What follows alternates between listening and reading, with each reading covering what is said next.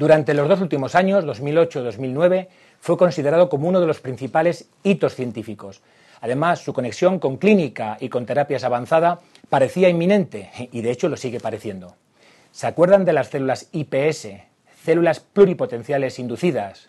Pues bien, un nuevo giro científico surge de la Universidad de Stanford, en California. Según publica la revista Nature, un estudio coordinado por Marius Werning acaban de convertir fibroblastos maduros directamente en neuronas maduras. Son fibroblastos de ratón o también humanos, donde simplemente con la inserción de tres factores genéticos, tres factores que no pasan por la inducción de células IPS, consiguen, como digo, pasar directamente de una célula madura a otra célula madura. Desde luego y al parecer, la diferenciación celular ha dejado de ser estación terminal en el ferrocarril de la biología. Pocas veces se tiene la oportunidad de mirar perpendicularmente a los anillos de un Saturno en equinoccio. A comienzos del 2009, nuestro telescopio espacial internacional más famoso, el Hubble, pudo filmar simultáneamente ambos polos de dicho planeta, observando un espectáculo increíble, la formación de auroras boreales simultáneamente en ambos polos. Según los científicos, este es un fenómeno que se podrá observar una vez cada 15 años, las auroras, tanto en Saturno como en la Tierra, consisten en un viento energético solar chocando contra el campo magnético de los planetas.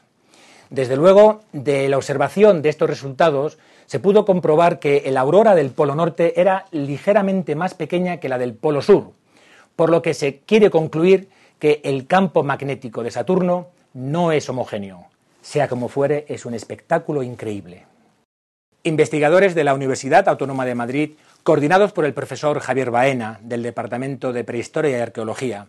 En colaboración con el Museo Nacional de Georgia, están llevando a cabo estudios de restos fósiles de homínidos del antiguo yacimiento georgiano de Daminisi.